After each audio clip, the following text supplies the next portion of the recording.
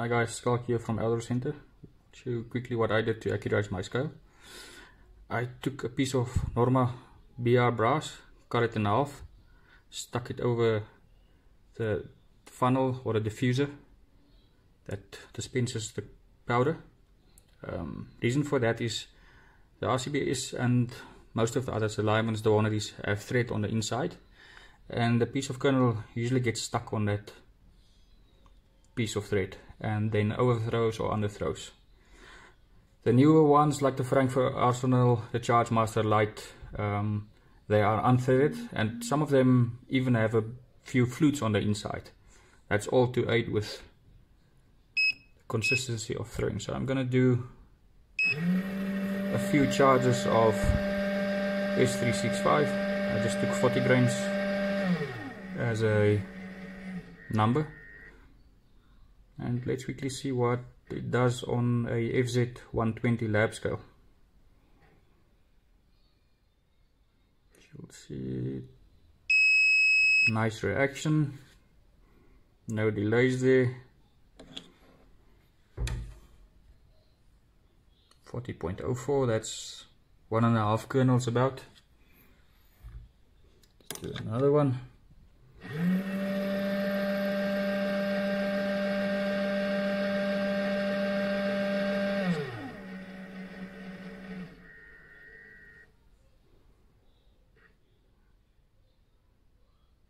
You'll notice it's quite smooth with that little funnel attached. 40 grains, yes, let's see what it shows on the lab scale. 40 grains, 40.02.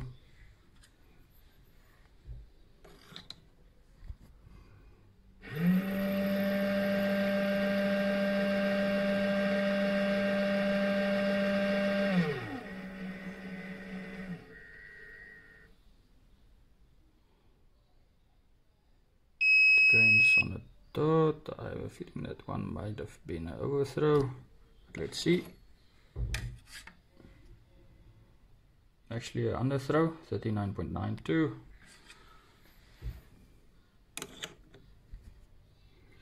Let's do another one.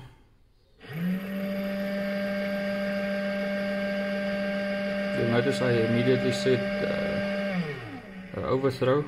That's because I know my scale the way it reacts um, anything funny and I will double check it. You'll see that one is much more smooth and that's what we're trying to achieve by adding that piece of brass is to get it to throw the kernel smoothly. 40 grains 40.02 let's do another one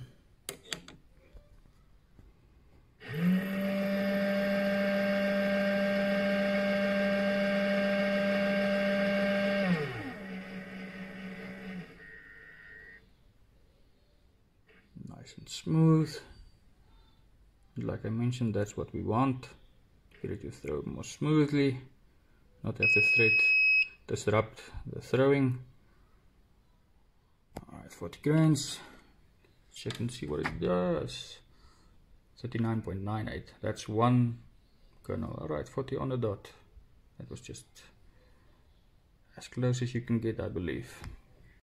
Okay guys there you have it I did a small test for you on the RCBS 1500 Chargemaster, how to improve the accuracy on it. I've done a test previously without a piece of brass.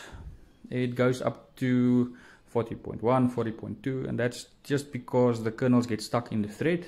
And as I mentioned, the newer Chargemaster lights, the Frankford Arsenals, they have flutes or zero threads on the inside of the diffuser and that aids with throwing more smoothly and that's the main thing you want to get a consistent charge.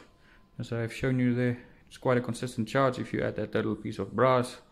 And yeah like and share the video and let me know if you'd like to have or see any more tips. Thank you